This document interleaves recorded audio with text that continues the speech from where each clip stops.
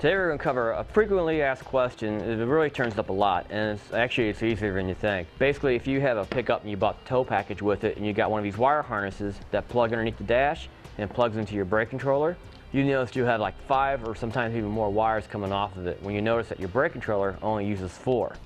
We got one over here. We'll show you. It has just the four wires. And what do you do with the extra wires? The short answer is just don't worry about it because the brake controller has all what it needs from these four wires. Give, to give you an idea what's going on, most of the time these harnesses are labeled what color does what. So this one will say two trailer electric brake. All right, that means that this is going out to a trailer itself. So if you look on the harness on your brake controller, it's going to be the blue wire here. So those match up together just like that. The next one is labeled is ground. So you go to your wire harness on your brake controller and find a wire that's labeled ground. In our case, it's going to be white also.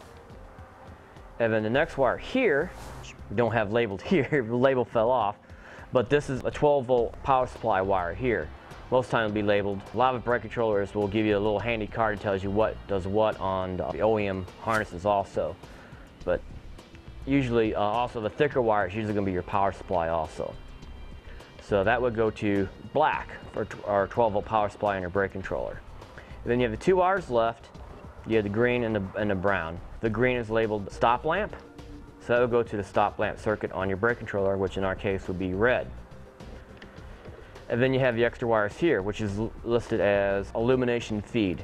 Basically, this comes on, I believe, when you hit your, when you turn on your running lights. So if you have something you powered on the inside of your vehicle for running lights, you could possibly use this, but for towing purposes, I don't know really what you could use this for. Uh, no brake controller ever uses this, so basically all you do is just fold it back out of the way, tape it up so it doesn't short out against anything, and you don't worry about it basically.